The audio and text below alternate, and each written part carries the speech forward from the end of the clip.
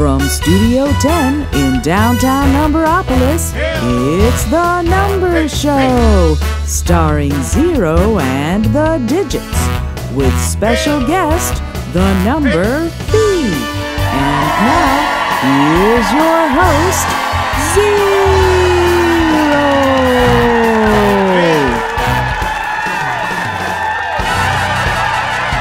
Hey, thanks everybody. Thank you. And Happy New Year 2019. Wow. It seems like only last year that I couldn't believe it was 2018. I've made some resolutions. Did everybody make resolutions? Mine is to get in shape. A few too many of those holiday cookies. Of course, I don't want to slim down too much, or people will start confusing me with one.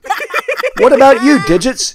Any of you have any New Year's resolutions? I have three New Year's resolutions. Why three? The numbers lady gave me geometry puzzles to play with over the holidays.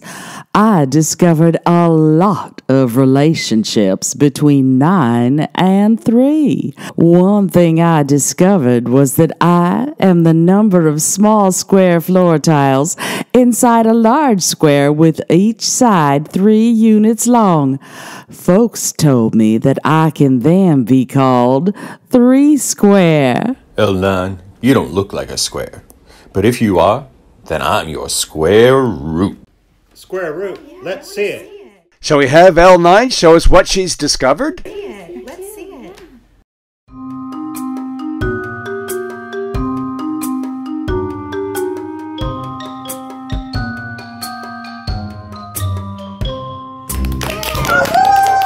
I see it. There are nine equal squares in a 3 by 3 arrangement. Like the game Tic Tac Toe. Sudoku. Home windows. So, what are your three resolutions? 1. Discover geometry in art. 2. Find designs involving 9. 3. Improve my playing of the nine stringed Kelstone. Wow, that sounds like a lot to do. I hadn't heard of the Kelstone instrument until viewing day 9 of the 12 Notes of Christmas film. We've got a great show for you tonight. How do I know that? Because we've got one of the most fascinating numbers I know the number Phi. Faye will help me with my first New Year's resolution. Trust me, you get Fee going and she can just go on and on and on. And she's always popping up in the strangest of places. So stick around. We'll be right back with the fabulous Phi. Let number nine window cleaners help you discover beauty outside. And we're back. And I can't tell you how excited I am to welcome our next guest. You've seen her in the design of everyday playing cards, art and architecture, and spirals of pine cones and cauliflower heads. Everybody, please give a warm welcome to the number Fee.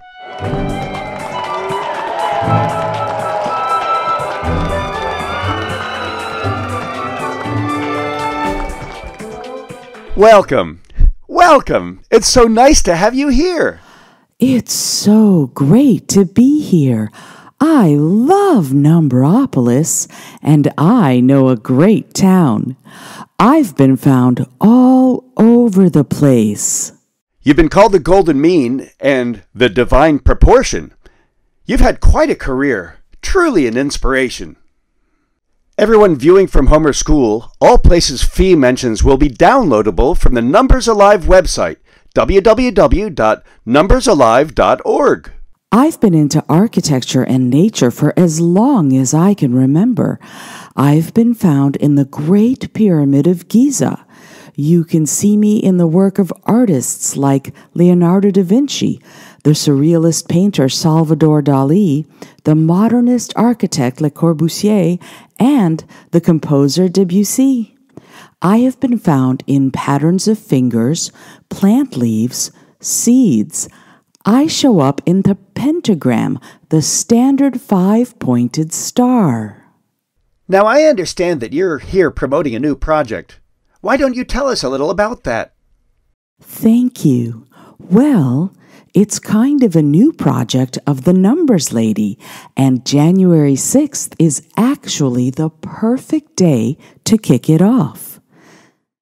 So tell us, what's so special about January 6th? Well, in the United States, people write the date January 6th as 1 slash 6. My value is between 1 and 2, but closer to 2. 1.6 is a good approximation. So this would be Fee Day. Fee Day, of course. So you would have your own special day. Actually, I'd like to think of it as a day not just for me, but for all the numbers to think of themselves in art and nature.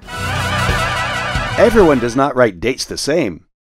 What if I write dates as day and then month? Then Fee Day would be June 1st. So if you travel, you could celebrate twice in a year. Worldwide, I'm related to a very famous sequence, the Fibonacci sequence. It's named after Mr. Fibonacci. Kill man. What a fun, wow. What a funky dude. What's a sequence? A sequence is a list of numbers, images, or sounds, one after the other, that follow a pattern. Sometimes the difficulty is determining the pattern so you can keep the sequence going. Guess what number we're going to start off with? One. Do it again. Okay, now add those two together. What do you get? 1 plus 1 equals 2. Remember, the numbers lady always tells us to identify the units before doing any arithmetic. What things should we be adding or counting together? How about mints? Works for me. So now put up another one. And here's where it really starts to take off. We're going to keep adding the previous two numbers in the sequence. So, one mint plus one mint equals. Uh, uh, 2 mints. Now, add the last two number of mints. 1 mint plus 2 mints equals uh, uh, 3 mints. Perfect. Now we'll go a little faster. Two mints plus three mints. 5 mints. Three mints plus five mints. Ooh, 8 mints. The pattern continues forever. My discovery in geometry showed me to look at this pattern using squares. I was told it creates the golden spiral, like the spiral created by the chambered nautilus as it grows. That's amazing. I don't actually understand how you relate to this Fibonacci sequence. It's actually a bit complicated and includes the square root of 5 and limits. Like 3 is the square root of 9. I like the wonderful pictures better. You know, you sound a little like another one of our friends. Let me guess, you're talking about pi. That's right. Pi and I go way back. I am a huge fan of Pi's work with circles. Another friend without a Greek name is E, the base of the natural logarithm known as Euler's number. Like pi and e, my decimal expansion goes on forever. You hear that? I suggest you invite them soon and create E Day on February 7th and celebrate Pi Day on March 14th. What a great idea! Audience, what do you think? Oh, oh, yeah. Who are they? I would love to see them. We've got to take a break, but when we come back, we'll have a fee related game, and today it's going to be me versus L9 with Fee as the judge. Stay tuned! When you think we're just mints, look again. We're back, and it's time for our game! Today's game relates to the first 50 digits in the decimal expansion of phi. L9 and 0 will compete, and phi will judge the responses. Once we show you the first 50 digits of phi's expansion, L9 and 0 will compete to win a phi mask. L9 and 0, you will each determine how often each number, 0 through 9, appears in the initial 50 digits. Do they count the one to the left of the decimal? Of course you count me. Mr. Wonderful is correct. Ready, set, go.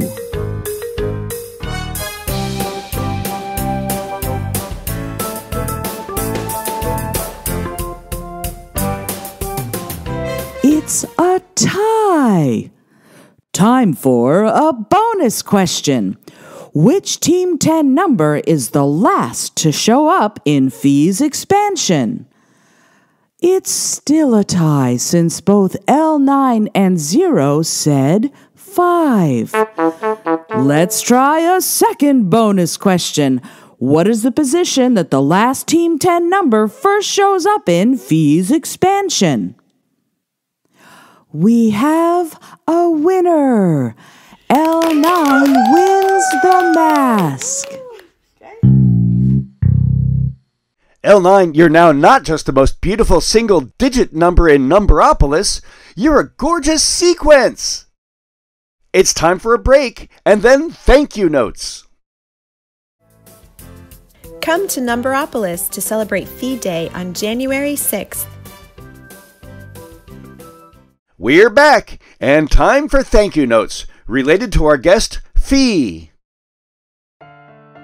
Thank you, Fibonacci, for identifying the sequence whose squares create the golden spiral. Thank you, Greek alphabet, for providing names to geometric relationships. Thank you, Phi, for showing up in beautiful lines, spirals, and square roots. Whoa, whoa, whoa, wait up! Six string along, what's wrong? It's this Phi Day thing. Right, January 6th. Phi wants to make that Fee Day. But, but, don't you remember? January 6th is already a holiday. Dr. 007, show us your 12th night legs.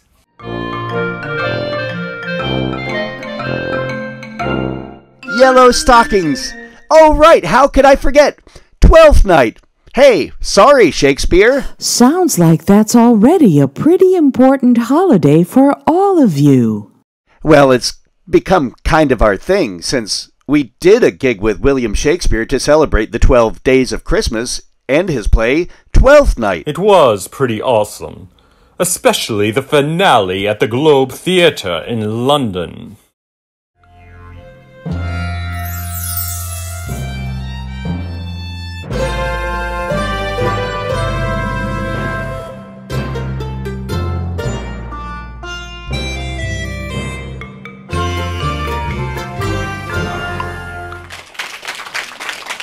What does Twelfth Night have to do with yellow stockings? As part of the story, Mr. Malvolio wants to impress Ms. Olivia. Some folks convince Malvolio that Olivia likes yellow stockings.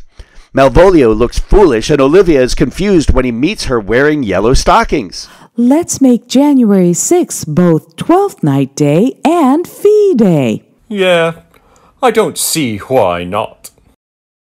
Beautiful stockings in infinite colors and designs, including ever popular yellow with cross garters.